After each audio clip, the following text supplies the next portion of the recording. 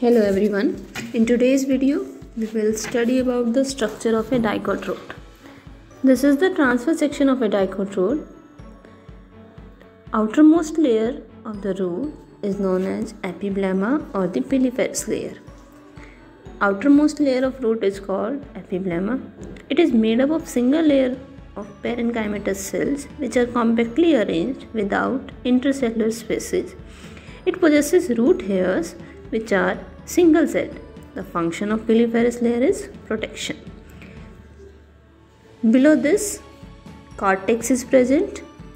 Cortex is simple, multi-layered and consists of thin-walled parenchymatous cells with intercellular spaces to make the gaseous exchange easier. Next layer is endodermis. It is made up of single layer of barrel-shaped parenchymatous cells.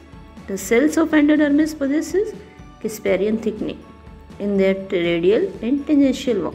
Casparian thickening is the deposition of wall material, suberin and lignin. But the, these Casparian strips are absent in endodermal cells which are located opposite to the protoxylem elements. These cells are called passage cells through which water and mineral salts are conducted. Next layer is pericycle. Pericycle is generally single layer of parenchymatous cells. Lateral root originates from the pericycle.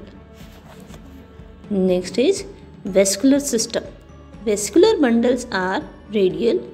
Xylem and phloem strands are arranged on alternate radii which are separated by parenchymatous tissues known as conjunctive tissue.